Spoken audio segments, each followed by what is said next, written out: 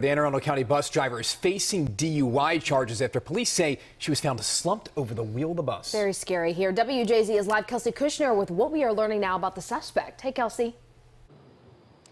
Hey, Nicole and Rick. Yeah, well, police say that it was an off duty officer that actually spotted that school bus on the side of the road and knew something wasn't quite right. Now, police say 36 year old Angela Cassidy was pulled over on the shoulder on Route 100 eastbound around 3 p.m. last Wednesday. An off duty officer noticed the stop sign was activated, the lights were flashing, so they pulled over to investigate. That's when investigators say the officer saw Cassidy slumped over in the front seat, sleeping. Knocked on the door in an attempt to wake up the driver, but was unsuccessful. He then climbed through the emergency exit door of the bus, gained entry through the emergency exit, uh, went and uh, uh, awakened the bus driver, um, and noticed um, signs of impairment, uh, odor of alcoholic beverage on and about uh, her person.